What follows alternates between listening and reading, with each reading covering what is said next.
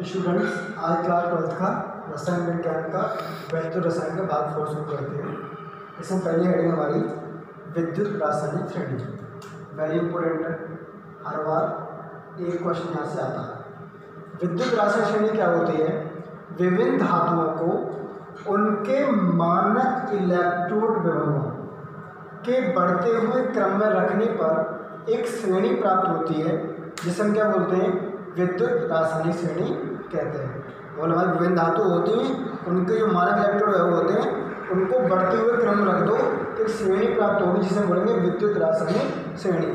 ये श्रेणी जो होती है, इसमें सबसे पहले होता है lithium, potassium, barium, strontium, calcium, sodium, magnesium, aluminium, manganese, zinc, chromium, iron, cadmium, copper, nickel, tin, lead, hydrogen.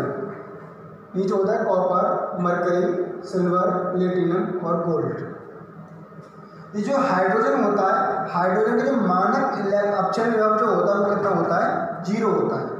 Hydrogen का हमेशा मानक अपचन विभव कितना होता है? ज़ीरो होता है. और हाइड्रोजन से जितने भी ऊपर होती हैं, वो सब क्या होती हैं हमारे? उनका कितना होता है? मानक अपचन विभव कितना होता है? उन सब हमारा होता है नेगेटिव ऐसा होता है? नेगेटिव और हाइड्रोजन से नीचे वाला क्या होता है? पॉजिटिव ये आपको ध्यान रखना ठीक है? इसमें एक चीज़ और है, जो ऊपर वाली धातु होती है, वो नीचे वाली धातु से क्या होती है? अधिक ताकतवर अंदर अधिक सक्रियता वाली होती है। जैसे मैंने आपसे कहा कि एल्यूमिनियम और जिंक की तुलना करो। अब अपने विद्युत में देखो, एल्यूमिनियम कहाँ पर हमारी? ये रही, और जिंक कहाँ पर हमारी? ये रही। अब आपने रासायनिक देखा कि जिंक से ऊपर क्या है? एल्यूमिनियम है। तो इसका मतलब क्या हुआ कि एल्यूमिनियम जो है, वो जिंक को क्या कर देगी? विस्थापित कर देगी। ठीक है? जैसे मैंने आपसे कहा कि आपने जिंक ले लिया, ठीक है? और आपने ले लिया पोटेशियम, ठीक है? अब विद्युत रासायनिक श्रेणी में देखो, जिंक कहाँ पर हमारी? ये ठीक है? और पोटेशियम कहाँ पर हमारा? ये रहा। अब पोटेशियम विद्युत रासायनिक श्रेणी ऊपर है कि नहीं है?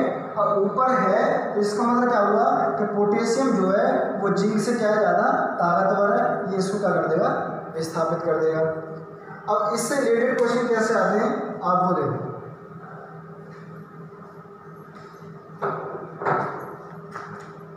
जैसे मैंने क्वेश्चन दिया।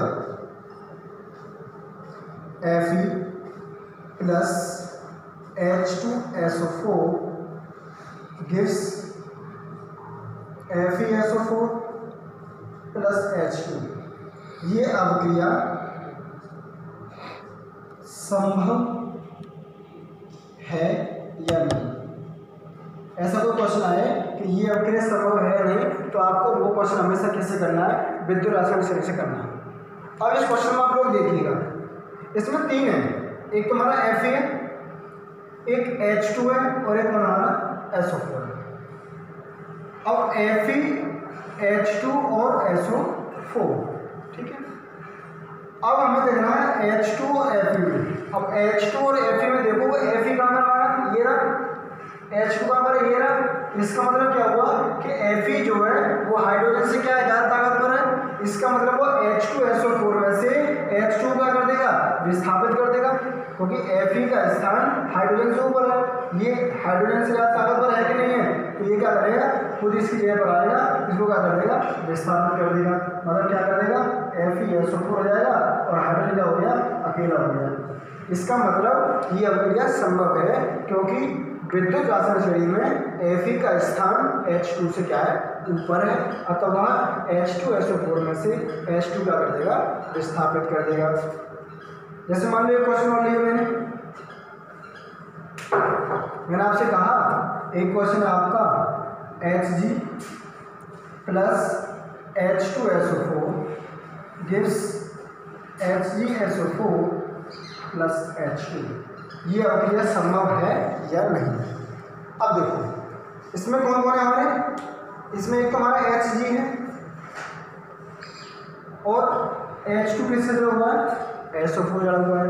अब हमको ये देखना है कि H G H two S O four अब एच जी का है हमारे विद्युत श्रेणी में। कहाँ है? ये एच टू कहाँ है? ये इसका मतलब एच जी का स्थान विद्युत रासायनिक का कहाँ पर है? कहाँ पर है? ऊपर। इसका मतलब एच टू जो है एच जी से ज़्यादा ताकतवर है। तो क्या एच टू क्या है? ताकत बनेगी स्ट्रॉन्ग है ठीक है? इसकी अपेक्षा इन कंपेरिजन ऑफ़ ये क्या है? वीक है। तो क्या एच डी की ताकत है? तो वह एस ओ फोर से एच टू वाला कर दे। नहीं कर पाएगा ना? तो क्या ये अपने संभव है? ये अपने संभव नहीं है। क्योंकि एच जी क्या विद्युत श्रेणी में हाइड्रोजन से नीचे है, अथवा एच टू एच में से एच टू को विस्थापित नहीं कर सकता।